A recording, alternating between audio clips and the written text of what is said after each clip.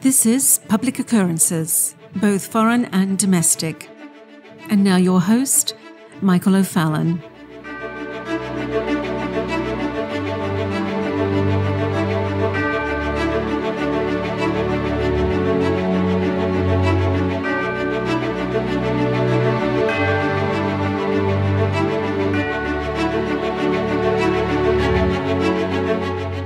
Want to go over a few things that we have discussed previously here on public occurrences that I think it's important for us to really make sure that we understand what is happening around us with a historical perspective.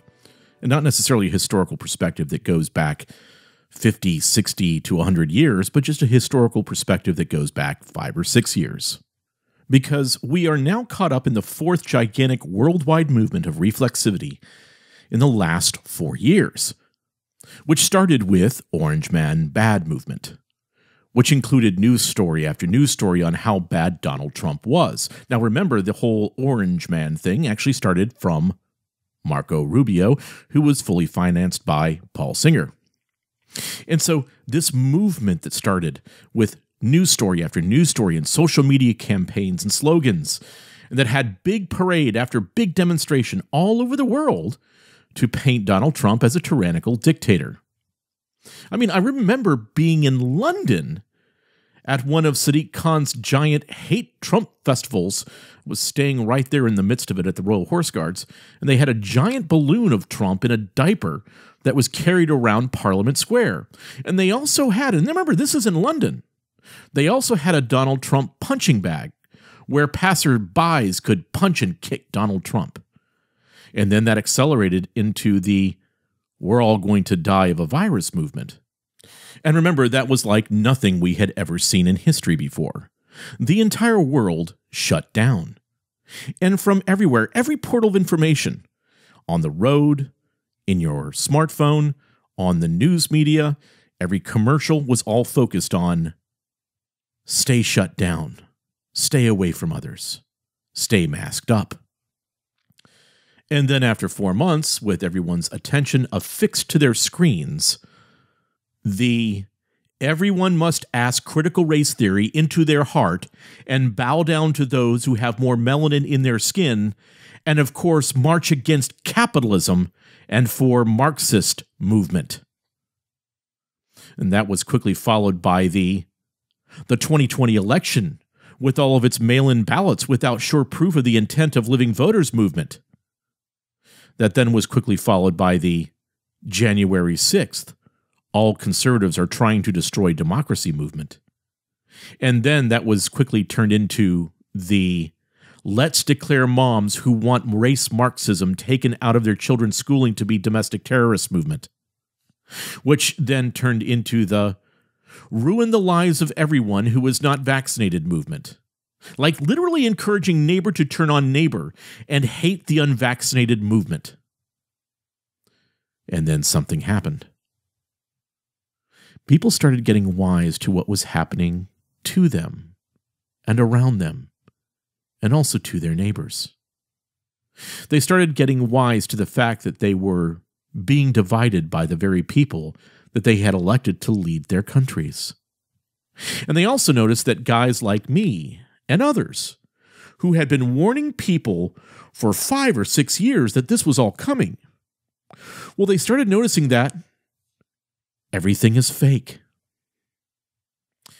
And people started getting pretty upset because they couldn't believe anything that was on the news. Now, in Canada, a massive protest started, which was followed by the same kind of protests being sparked all over the world. If you remember, in Australia, and France and in New Zealand, in Israel, and now also here, but you wouldn't know it in the United States. You, wouldn't know it though. And information started coming out about after effects and severe illnesses caused by vaccines.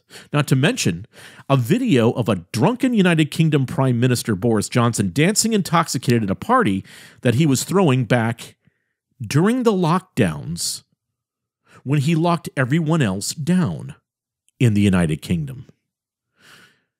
And people were angry, very angry, that their leaders were having a blast while they ruined their economies, destroyed their jobs, muzzled their kids, and when they were arrested for trying to come into a grocery store without being vaccinated. And now, of course, they started turning to them and saying, Oh, but we must have a green planet. And people start to see their gas prices go up. And more nonsense. Everything's going up. And people had enough. They now understood that they have been manipulated. From the nonsense surrounding lockdowns to the infusion of race Marxism in their society, and people began to rise up. And all of a sudden, restrictions started to be lifted everywhere. I mean, even in the Soviet Republic of California. But then, the next gigantic reflexive event hit the airwaves. And once again, there was nothing else that you were allowed to care about.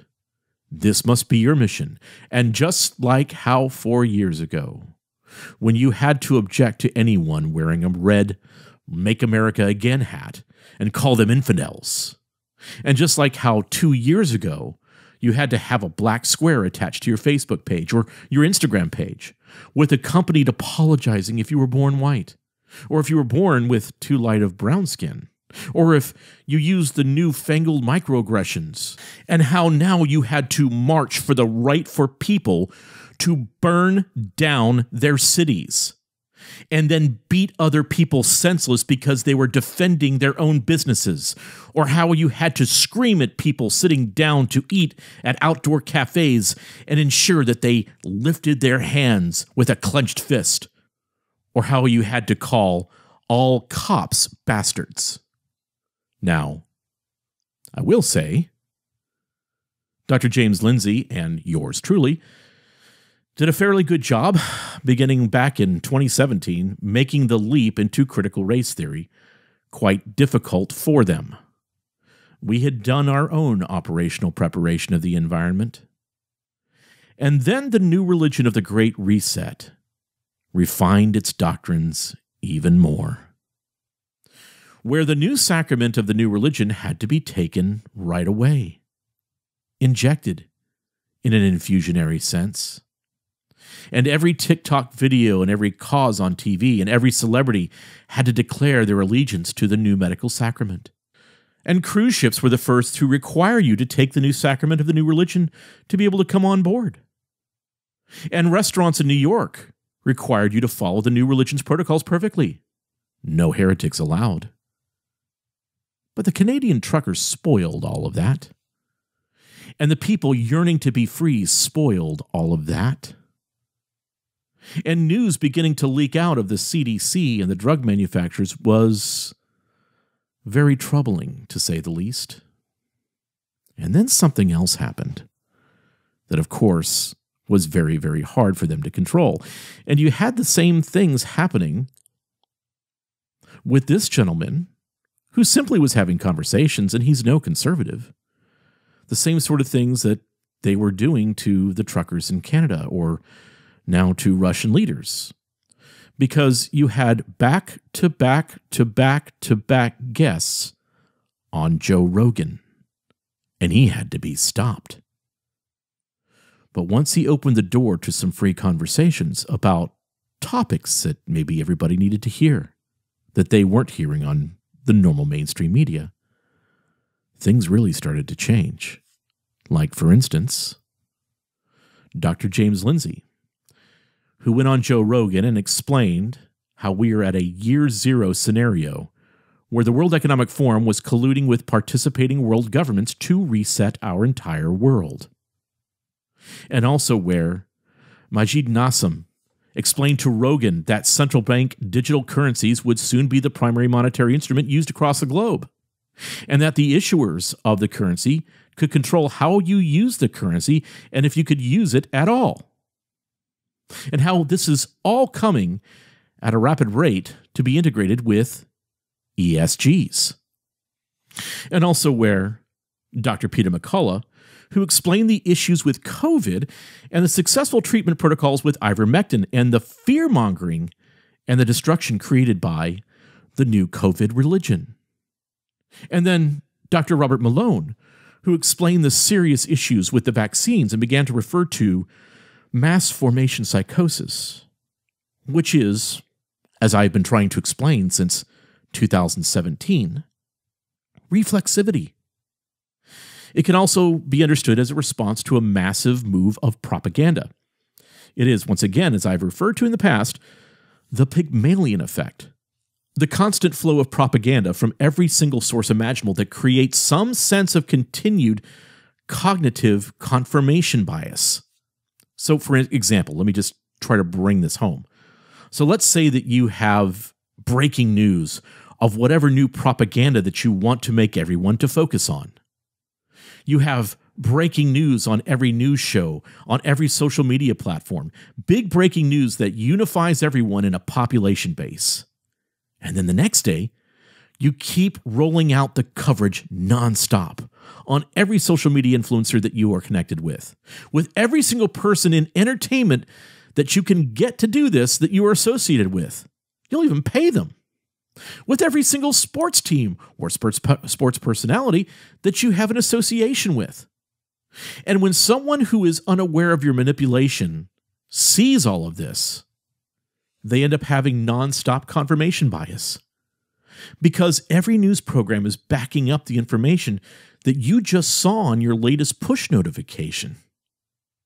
And let's say with that basketball game that you started to watch last night, everyone on both teams is now wearing a patch on their uniform showing solidarity with whatever the new cause is. And businesses get into the act by punishing the enemy, which that makes news as well. Corporations begin to either fund the cause that the manipulators want you to care about, or they will cut off funds to the enemy.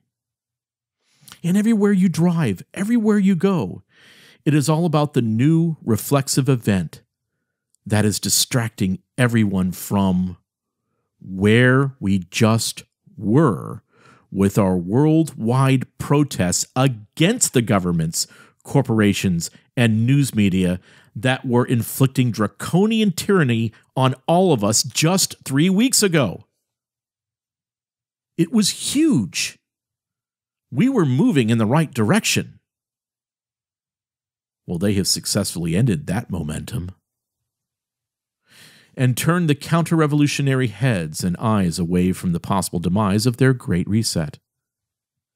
And they now have, through the most current event, once again gain their resetting momentum back through endless and nonstop propaganda all on the latest news. And here we are. All back on the hamster wheel of reflexivity once again.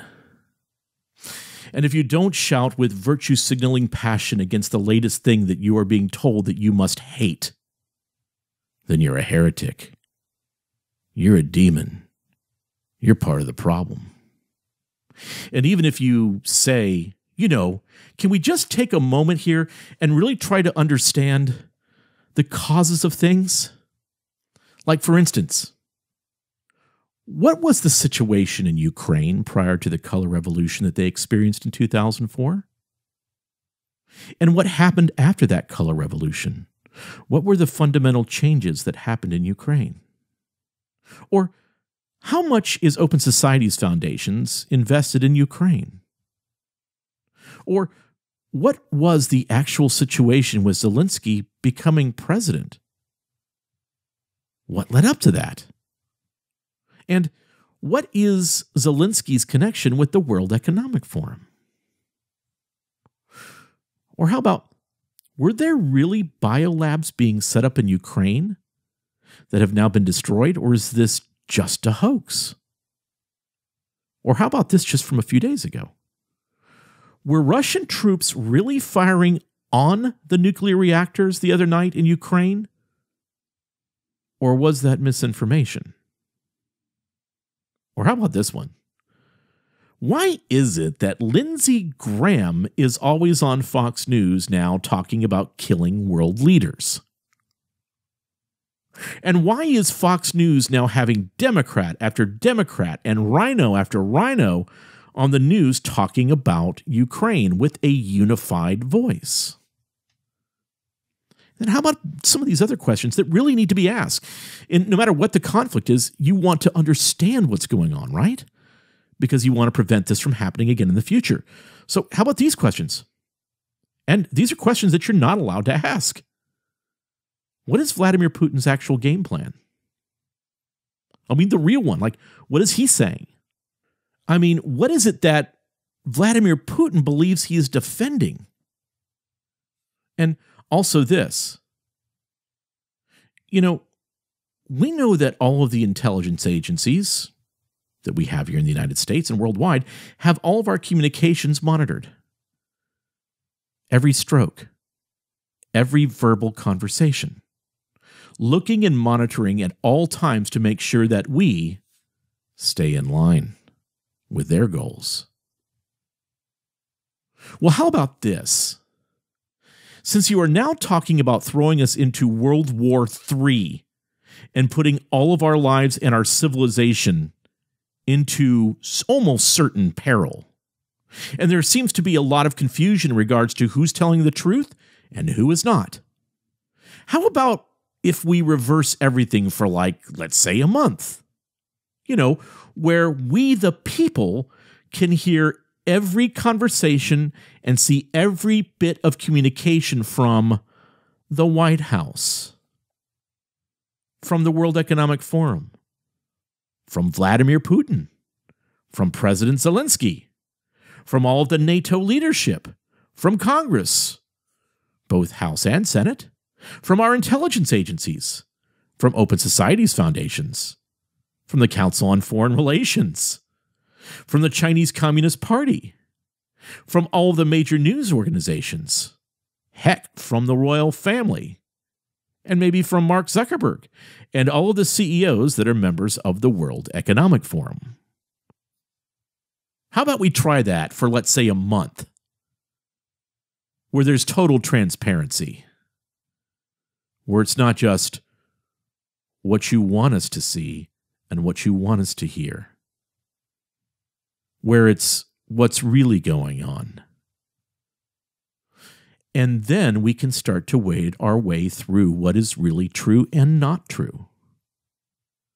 Because right now, we already know that you have been playing this game of propaganda, this grand theatrical stage, and you're trying to change everything. You've already said that part out loud. And you never talked about that before you came into office. And we are sick of being told what we should and shouldn't believe.